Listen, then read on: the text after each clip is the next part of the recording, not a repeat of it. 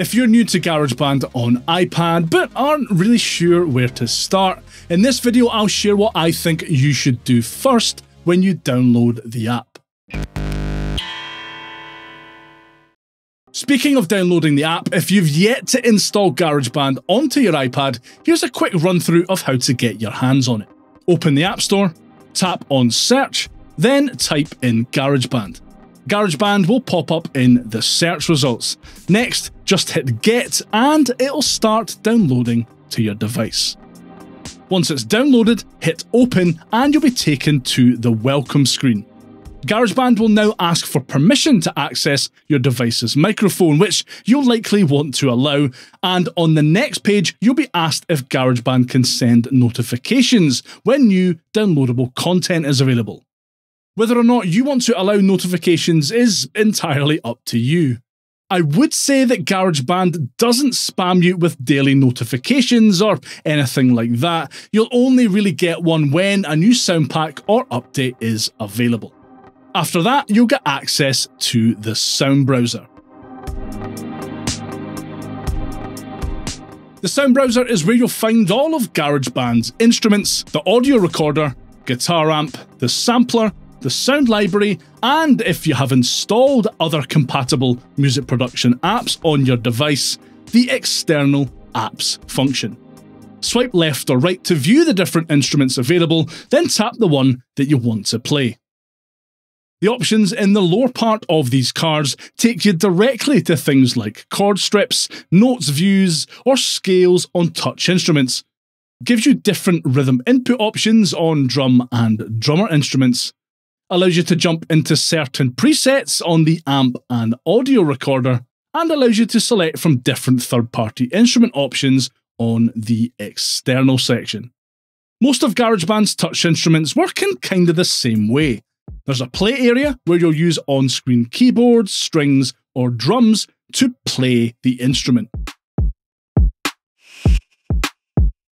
You can change the sound of the instrument using the knobs, buttons, and other controls in the controls area. Here's a closer look at GarageBand's grand piano touch instrument. Using the grand piano, you can play notes, chords, and scales.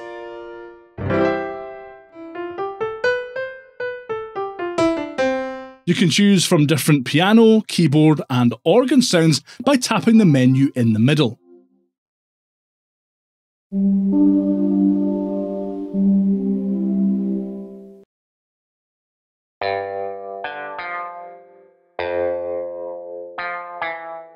You can tap the chord switch to change to the chords view. Here you can play higher chords by tapping the upper segments of a chord strip.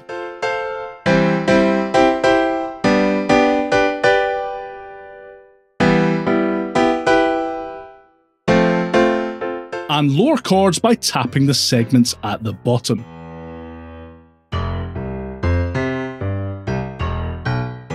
There's also an autoplay function that you can use by turning the autoplay knob to one of four positions. Tapping a chord strip will play a pattern with the notes of that chord.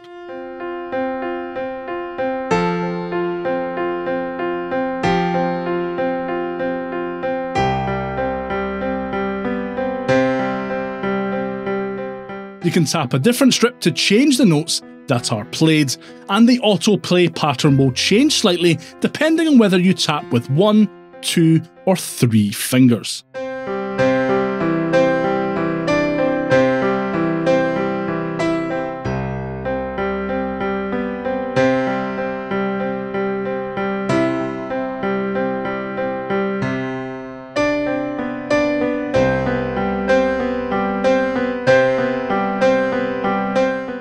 When you're ready to record your touch instrument, tap record in the control bar. Recording will start at the current position of the playhead.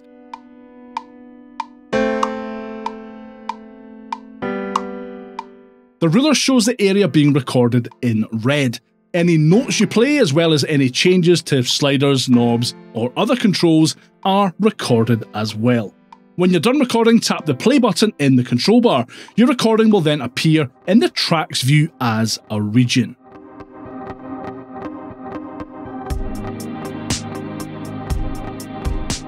projects default to a BPM of 120 and a key signature of C major.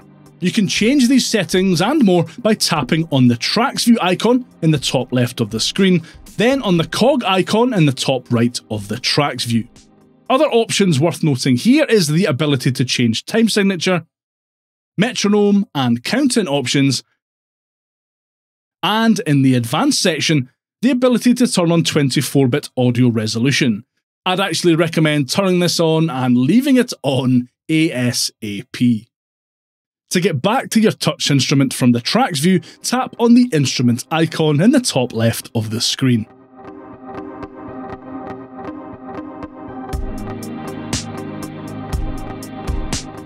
If you want to record some real audio, like your voice for example, or an acoustic instrument like a guitar, you'll want to use GarageBand's audio recorder. You can head back to the sound library by tapping on the icon with the three squares on it in the top left of the screen. Then swipe until you see the audio recorder and tap on it to open. As the on-screen prompt says, capturing your recording is as easy as pointing your iPad towards the sound you want to capture and hitting record. The input meter will tell you if you're too quiet or too loud. You're aiming for maybe just over halfway for optimum recording volume. If the meter goes into the red, your recording will sound distorted. This is called clipping, and there's not really much you can do about it once you've recorded it. It'll be baked into that recording. So take some time to get your levels right before hitting record.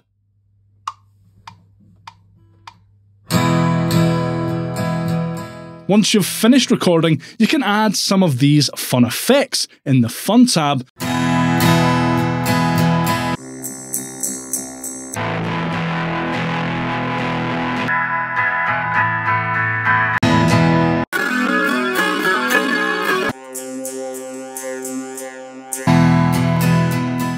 Or you can tap on Studio, then the menu in the middle for some more sensible and perhaps usable presets.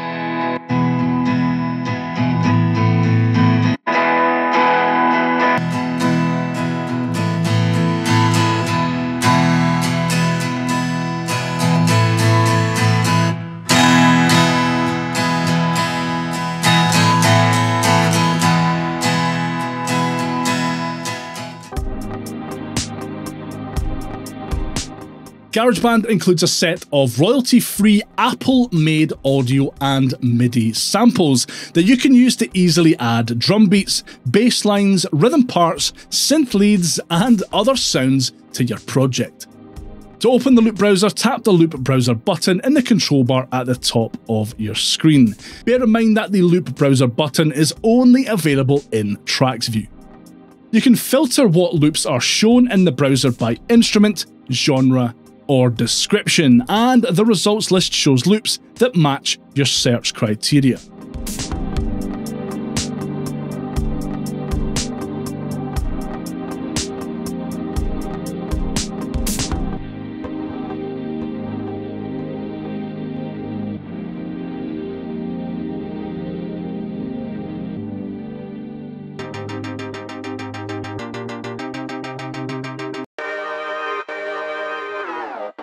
Drag a loop from the results list to an empty part of the track's view screen, aligning the left edge to where you'd like the loop to start playing.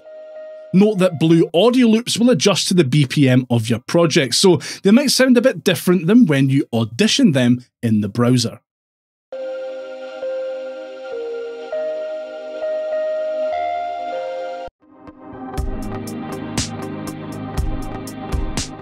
Apple regularly add new instrument patches, loops, drum kits, and more to GarageBand in the form of sound and producer packs. At the time of making this video, there are 29 sound packs and 9 producer packs available, and they are all absolutely free. You can peruse and download these packs in the sound library. You can find the sound library in GarageBand's sound browser or by tapping the More Sounds icon found next to many of GarageBand's different touch instrument icons. When you open the sound library, you'll be greeted with a selection of different packs that you can download. You can find out more about a pack by just tapping on it.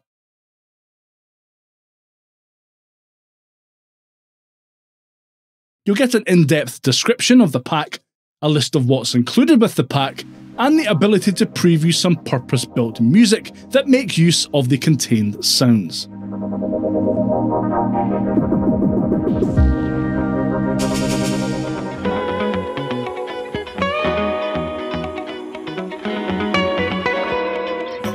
The 8 Bit Legends pack, for example, contains 70 new Alchemy synth sounds, 7 drum kits, over 250 Apple loops, and an additional live loops grid.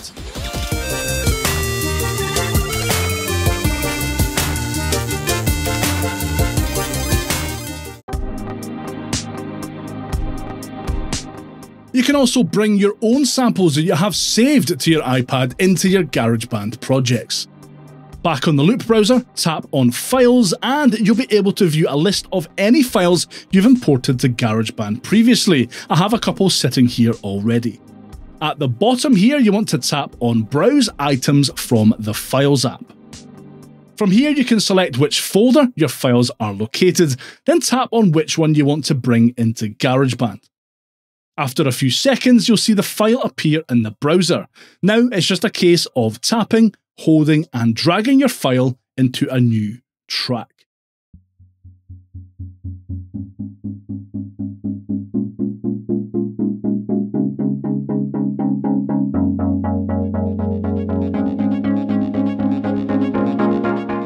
From the Alchemy synth to the drummer, the beat sequencer, and the sampler, GarageBand has a lot of really powerful instruments and functionality that are beyond the scope of this video. For more information on all of that and loads more, watch this next.